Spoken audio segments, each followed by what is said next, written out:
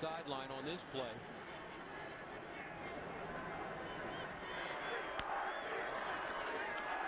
Williams over the middle. And caught first down. No. Are they going to call it a flag? A catch, rather, a flag on the play. As Damari Simpkins is rocked. He didn't launch himself, Gus. He mm-hmm. didn't lead with the crown. He's trying to hit with the shoulder. He's doing everything right, but the strike zone lowers late. Kai Nacua should absolutely remain in this ball game. Number 12 is disqualified. That's terrible. He is going crazy on the Irish lead Pitt 7 0 with a second and two as we start the second quarter. Play action. Savage moves the pocket. He's going to run for the first down and he stops short of it. A beautiful hit over there by Tuitt.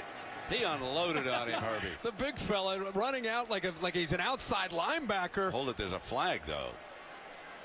Judging from Kelly's reaction. But when a quarterback runs like that, First helmet to helmet. On defense. Number seven. Targeting. Uh-oh. number seven is He's been eject- ejected. from the game. Uh-oh. The play He is goes upstairs now. review. Now remember now, instant replay upstairs can overturn the ejection. Remember now, the quarterback taken off, becomes a running back, ducks down. There was the helmet to helmet. But Savage did indeed duck his head, but is Tuitt responsible for not keeping an eye on him? I- think the other thing you have to consider there is I, I'd be surprised if this is held up. I, I applaud the officials for making the call the way they did because you send it upstairs to be able to take a lot of different looks at it. The quarterback runs like this. I, you know, it's not that he's a defenseless player. It's more of the defensive, the, the defenseless player using his helmet as a weapon, lowering the helmet and using it into the headgear of Savage and using it, like I said, if you use the crown of your helmet, the top of your helmet, and it's the initial contact, that's where you get ejected. But I don't think that will hold up. What do you think at home, folks? His helmet as a weapon. After further review, the ruling on the field stands. Wow. Number seven is disqualified from the game. And we all know why they're doing this. We all know, we all agree with why they're trying to do this. Judgment call there. Towles out of the gun. Shotgun snap. Here comes a three-man rush. Towles throwing down the field. Incomplete. And there's a flag on the play. Now they're going to call targeting, for goodness sakes.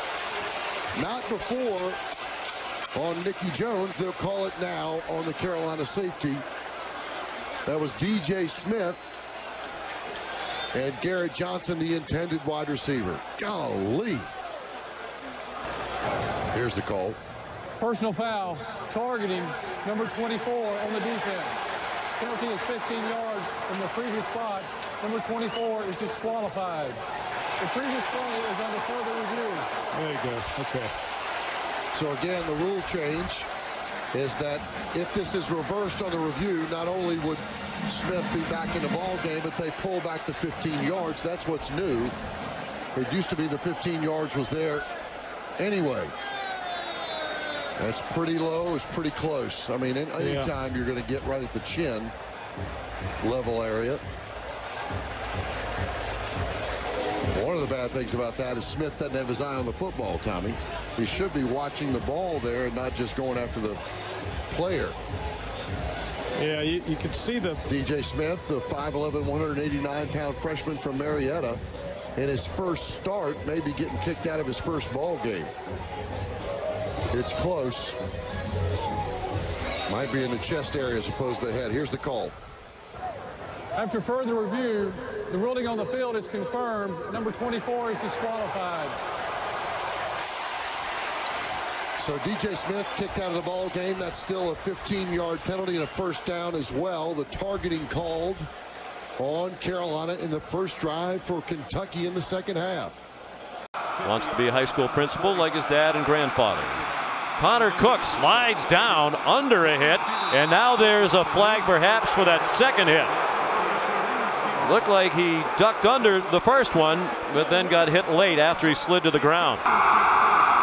Personal foul, plus targeting, defense. Ooh. 15 yards from the end of the run, automatic first down. The ruling is under further review. After further review, the ruling of the field on targeting stands. Number 35 is disqualified. Wow.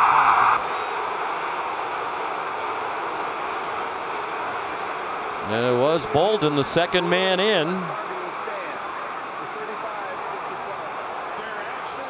He's probably making the argument right there that I was pushed down. See, Conklin, number 74, has a good grip on him. Watch that left hand kind of push him toward the running back. And I think you got a great argument to saying that he was pushed into Connor Cook as he's laying on the field. Yeah, I mean, he clearly was. The right arm was was had him on the shoulder Sean, and the left arm came across and kind of pushed him down into him. So Rosen in the gun. Perkins to his right, two wideouts each way. Gets the snap. Sets up the screen to Perkins. He makes a catch and gets lit up by Nate Gerry, And a flag comes out. They're going to get Gerry for a high hit here. It's going to be a high hit on Gerry. Boy, he timed that beautifully and drilled him at the 17 yard line. But hang on, or maybe a penalty. Could be a help. Personal foul. Targeting. 25. Defense. Boy, I just don't. I just don't play see. is under further review. I just don't see targeting out of that at all. I see a guy making a big, big tackle. We're seeing it for the first time. Oh, it's just a good football play, man. You know, it, it's here. Here's the problem with this. Okay, you're you're putting de- defensive players in a position, and, and he didn't try to lead with his head. He tried to lead with his shoulder. But, it, but because it looks the way it looks, you have officials that are just quick to throw the flag. And, here's the he might not have even touched his helmet. He led with his left shoulder. This was not ejectable.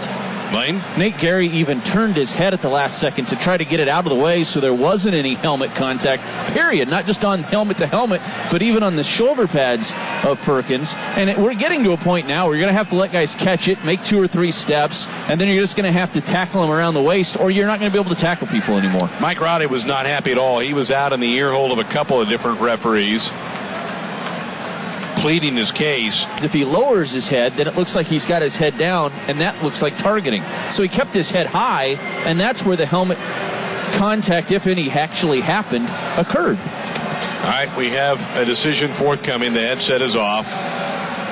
Here's Ron After Cherry. review, the ruling on the field of targeting is confirmed. Number 25 is disqualified. This has gone too far. Has elected not to use a 10 second runoff. I mean, wow. You were right, Greg, and I can't believe it. Yep. I just think this has gone too far. Mike Riley is hot. This has gone too far. Uh, I mean, I I just I feel terrible for Nate Gerry. He he comes up from the safety spot and makes a play. I hope this gets a lot of attention nationally because it, it's a bunch of baloney. Rose.